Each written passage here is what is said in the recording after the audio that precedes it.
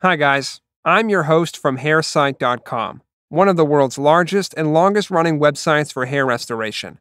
Today's video is produced in collaboration with Dr. John Cole's Hair Clinic in Atlanta, a top ranked hair clinic on Hairsite with over 10 years of uninterrupted patient records.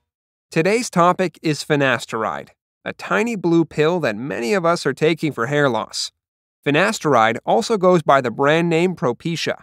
It is presently the only hair loss pill approved by the FDA for the treatment of male pattern baldness. We're not going to get into the efficacy of finasteride for hair loss here. Instead, we're going to talk about the safety issues of finasteride as it pertains to prostate cancer. This is a must watch video for anyone using finasteride or considering using it for hair loss or other conditions. The first study I'm going to quote here is a research funded by the National Cancer Institute. The 10 year trial, involving nearly 19,000 participants nationwide, ended in 2003 with a very contradictory conclusion, which you should all find interesting. The trial data shows that despite the fact that men taking finasteride had fewer prostate cancers overall, they had a greater proportion of high grade prostate cancers. By the close of the study, prostate cancer had been reported in about 18% of the men who took finasteride, compared to 24% of the men who took placebo. Despite the fact that men taking finasteride had fewer prostate cancers overall, they had a greater proportion of high grade prostate cancers. Overall, 6.4% of men on finasteride had high grade tumors, compared to only 5.1% in the placebo group. Recently, more on the subject has emerged, thanks to a follow up study that lasted up to 18 years, involving the original trial participants. The follow up study was also funded by the National Cancer Institute and it showed that finasteride reduced the risk of prostate cancer by about one third in the long run. Although high grade prostate cancer was more common in the finasteride group than in the placebo group.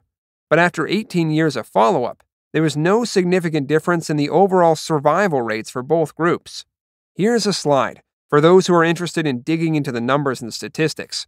We started with nearly 19,000 participants in the original study. Prostate cancer was diagnosed in 989, or 10.5% in the finasteride group, versus 1,412, or 14.9% in the placebo group. Of the men who were evaluated, 3.5% in the finasteride group versus 3% in the placebo group had high grade cancer. Of the men who died, 2,538 were in the finasteride group versus 2,496 in the placebo group for a 15 year survival rates of 78% and 78.2%, respectively.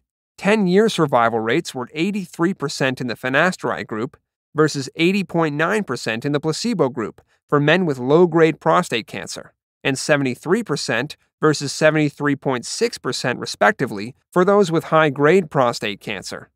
Some people may consider these results encouraging because they raise possibility that finasteride use may potentially reduce prostate cancer risk long term. Some researchers even suggest that the drug may have a benefit that lasts long after men stop taking it. However, that's not to say that you should go get a script for finasteride right away. These trial data are by no means conclusive evidence that finasteride can indeed lower prostate cancer risks for all men. As with all medications, there are risks and side effects involved. It's very important that you discuss these trial data with your doctor before making a decision. And for those who don't want to mess with medications and potential side effects, there are other options for hair loss, such as platelet rich plasma hair therapy and even hair transplant procedures. There are many choices out there. Finasteride is not the only answer for hair loss. To learn more about this topic or to speak to a specialist about your condition, contact Dr. Cole's Hair Clinic for a free consultation. No cost, no fee. Just good, honest information from a reputable and top ranked clinic on Hairsite.